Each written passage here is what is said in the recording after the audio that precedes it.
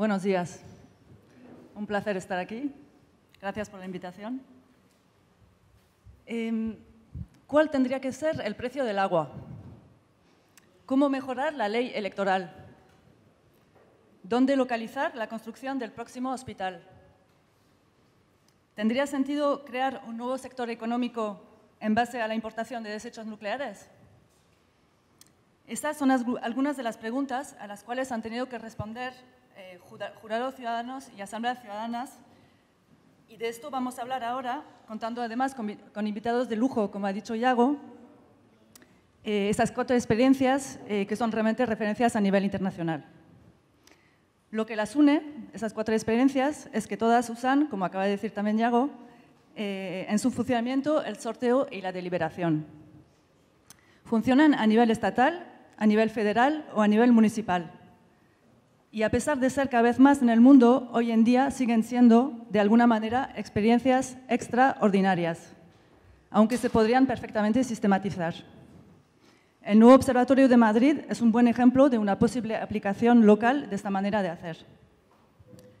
Vamos a ir viendo desde qué, desde qué, preguntas surgen esas experiencias, qué alternativas proponen y luego profundizaremos un poco más en los conceptos de sorteo y deliberación.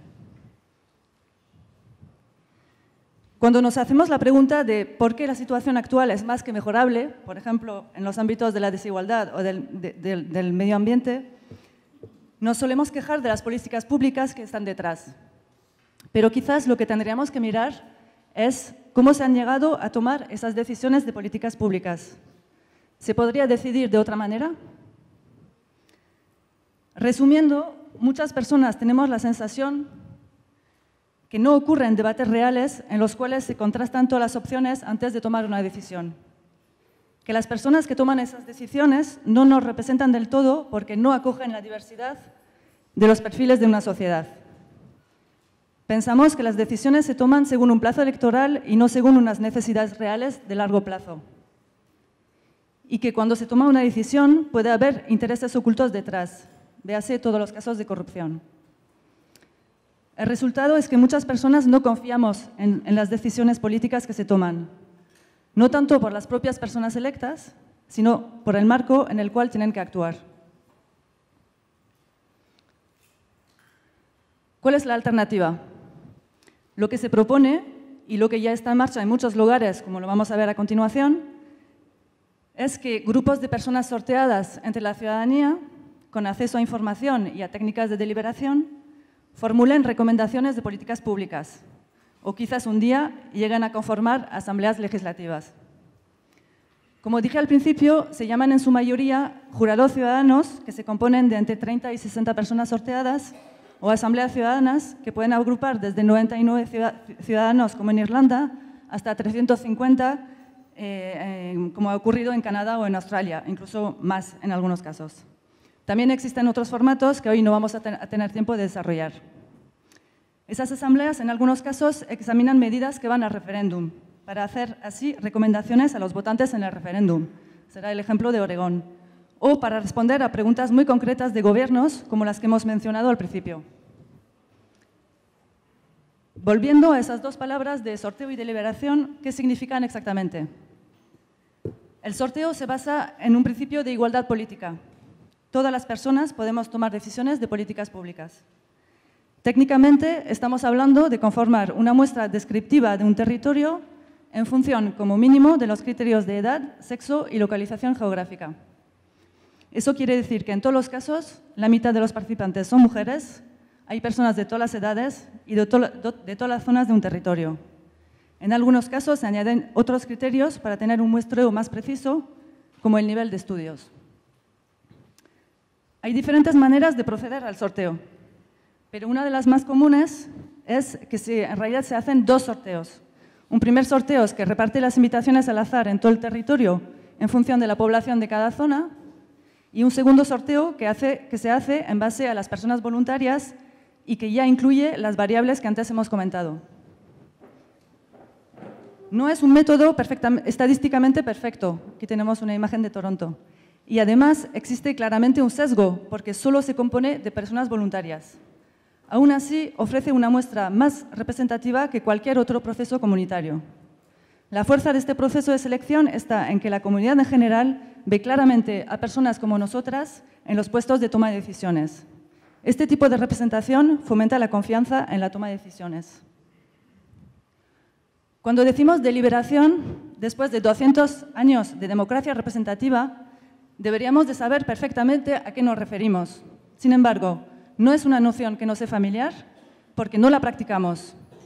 Me gusta mucho este cuadro establecido por la investigadora Lynn Carson de la New Democracy, que compara el debate, el diálogo y la deliberación.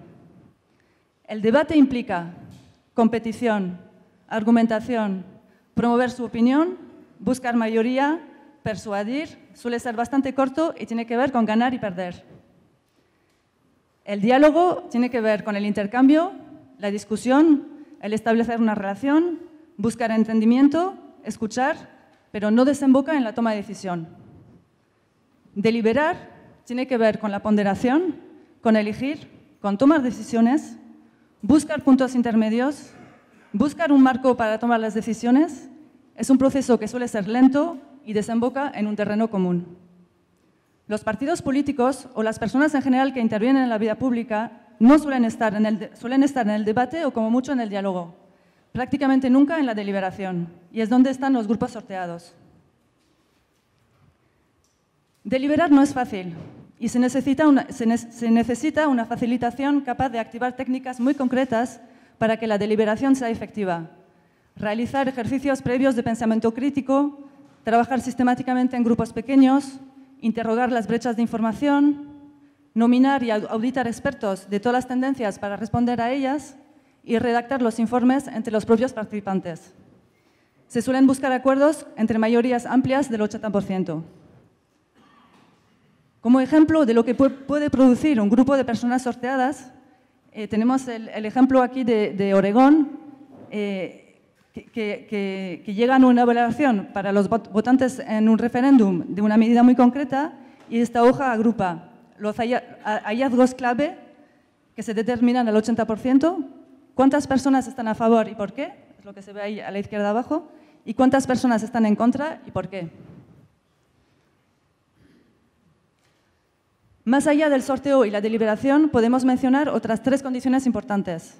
Los cargos tienen que estar limitados en el tiempo, desde 40 horas, que suele durar un jurado ciudadano, hasta las 16 sesiones repartidas en, dos años, como en el caso de Toronto. Como hemos comentado antes, las personas participantes tienen que tener acceso y poder nombrar ellas mismas a expertas ponentes de todas las tendencias y se tienen que cuidar las condiciones de participación, es decir, que nadie deje asistir porque no se lo permiten sus condiciones de vida. Evidentemente, como en cualquier proceso de participación, el Gobierno tiene que dejar muy claro qué hará con los resultados de la deliberación.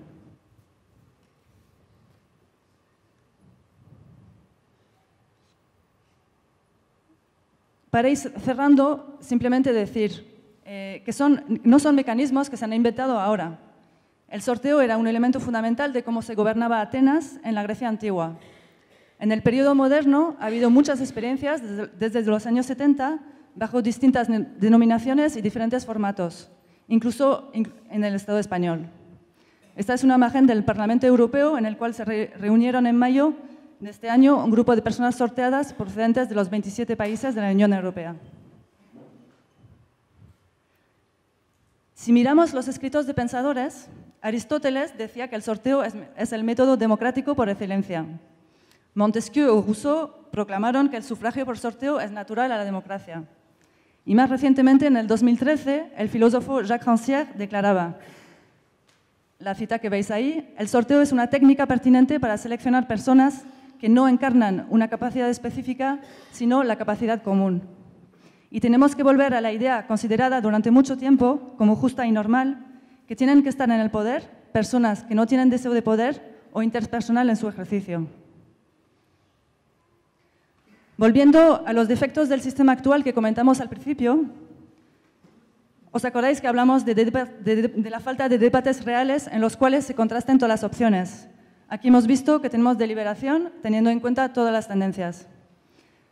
Eso de decir no nos representan, aquí el grupo sorteado es un microcosmo de la sociedad que representa. Cuando decíamos plazo electoral versus largo plazo, aquí las personas no, van a presentarse a elecciones, con lo cual pueden pensar en el largo plazo. Y esa idea de los intereses ocultos detrás, la corrupción viene sobre todo de la necesidad de financiar los partidos políticos. Si no hay partido y además rotación y transparencia en la difusión de todas las decisiones, hay bastante menos posibilidad de que haya corrupción. Y ya para ir acabando del todo, si miramos hacia el futuro, de la misma manera que el sistema actual es complejo y costoso en su funcionamiento, es decir, organizar elecciones y gestionar los trámites necesarios a la votación de una ley es largo y costoso, se necesitan medios y temporalidades largas para poner en marcha asambleas sorteadas. Hoy en día son grupos de apoyo a gobiernos existentes.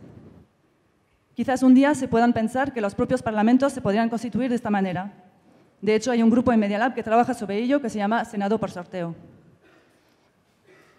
Desde luego, para ello sería necesario una evolución de la cultura política, pensar cómo articular los diferentes mecanismos e institucionalizar dispositivos adaptados al contexto local. Cuando en muchos países la tentación a la hora de reformar las democracias es la de un líder fuerte y carismático, aquí tenemos otro sistema que funciona, que confía en la inteligencia colectiva bien organizada. Intentemos que se difunda, pongámoslo, por favor, en práctica. Gracias.